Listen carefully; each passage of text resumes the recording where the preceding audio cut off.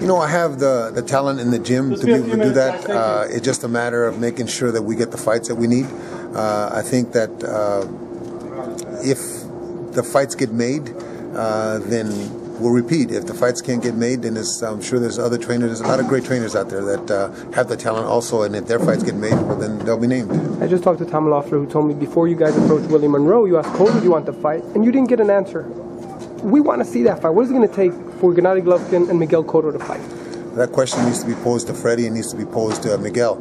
Uh, we want the fight. Obviously, he's the WBC champion and, and Golovkin is the mandatory, uh, but Cotto doesn't want to fight us. So uh, that question needs to be posed to them and, and, not allow them to back out of it in any way. Allow them to, to answer the question. If they don't answer the question, then maybe they don't want the fight. If it does happen, what's your prediction? no more than five rounds. Gennady's that good. Cotto, Blow Cotto them gets, up. Cotto gets knocked out. Cotto knows he gets knocked out. That's the problem. Cotto knows, and so does Freddie. I also asked Gennady if he can make 154 for the winner of Mayweather Pacquiao, and he said yes. What do you think about that? Gennady against the winner of that fight. The only reason he would drop down to 54 would be Everybody for that. Vegas here uh, there's no reason. There's nobody else that's uh, that's exciting enough for him to drop down to 154. That's a sacrifice. So uh, there's nobody else. As a boxing minder you are, you know the sport. You've trained so many champions. Mayweather or Pacquiao? How do you see the fight? I see Mayweather winning. I think Mayweather's too ring smart for Manny. Uh, Manny will give him a difficult time the first three or four rounds, but uh, Floyd will figure it out and will eventually win a decision.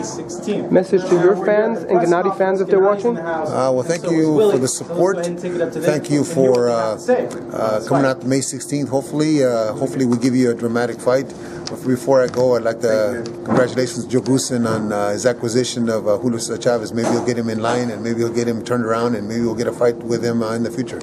Well, hopefully we'll see what happens. Oh, you heard what Julio told me. Julio told me that he wants to put a million dollars on the line when he fights Gennady, and the guy who knocks the other guy out gets that extra million. Uh, put it in writing. You accept it? Absolutely. Uh, what's your prediction for that fight, Abel? I think it's a 12 round fight. I think it's a difficult fight.